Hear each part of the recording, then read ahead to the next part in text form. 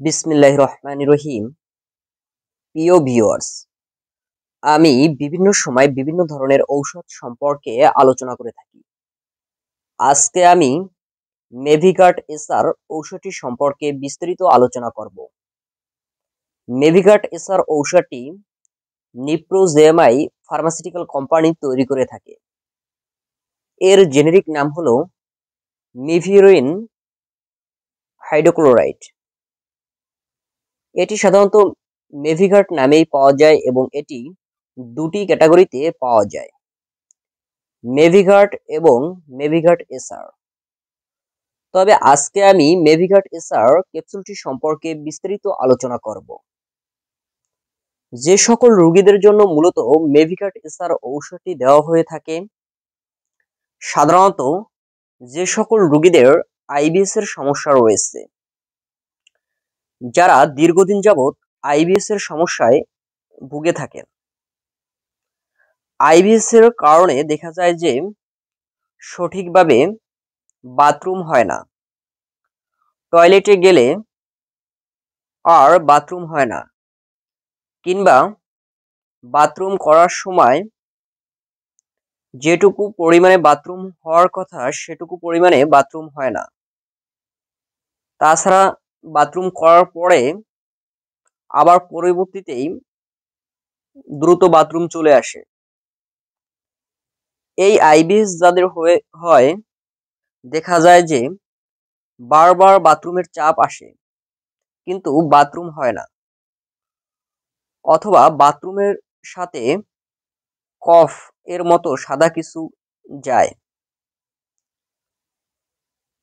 এ সকল সমস্যা দূর করতেই মূলত মেভিগার্ড এসআর ঔষধটি দেওয়া হয়ে থাকে।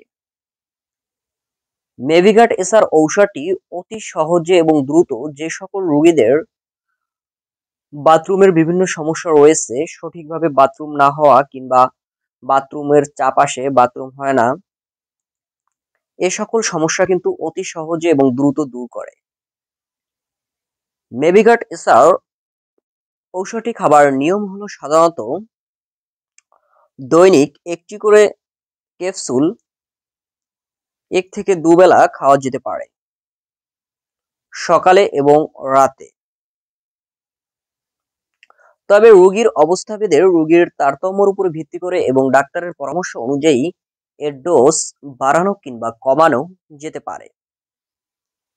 মেভিগাট এসার ঔষধটি খাওয়ার পূর্বেও অবশ্যই একজন রেজিস্টার্ড ডাক্তারের পরামর্শ অনুযায়ী খেতে হবে। কেননা ডক্টর প্রথম অবস্থায় রুগীকে দেখে কিংবা পরীক্ষা নিরীক্ষা করে বুঝতে পারবেন যে রুগীর কি ধরনের সমস্যা রয়েছে। রোগীর যদি আইবিএস এর সমস্যা হয়ে থাকে কিংবা রোগীর অন্যান্য কারণে সঠিকভাবে বাথরুম না হওয়া বাথরুম অনেক সময় কষা হওয়া কিংবা যে পরিমাণে বাথরুম হওয়ার কথা সে পরিমাণে বাথরুম না হওয়া বাথরুম করার পরে আবার বাথরুম আসা যে ধরনের সমস্যাই থাকুক না কেন ডক্টর যদি মনে করেন যে মেবিকার্ট এসার ঔষধটি দ্বারা রোগীর এ সকল সমস্যা ভালো করা সম্ভব, তাহলে ডক্টর মেবিকার্ট এসার ঔষধটিই দিবেন।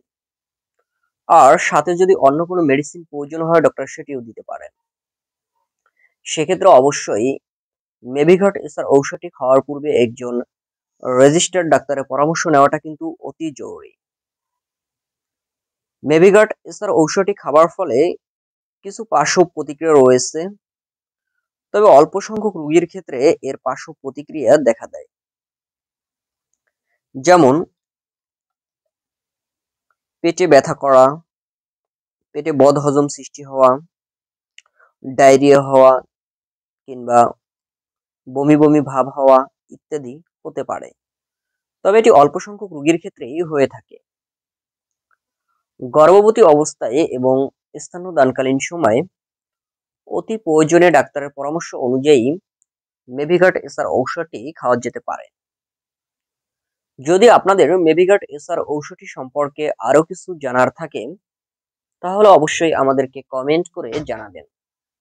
তাছাড়া যদি অন্য কোনো মেডিসিন কিংবা স্বাস্থ্যবিধি সম্পর্কে জানার থাকে, তাও আমাদেরকে কমেন্ট করে জানাবেন।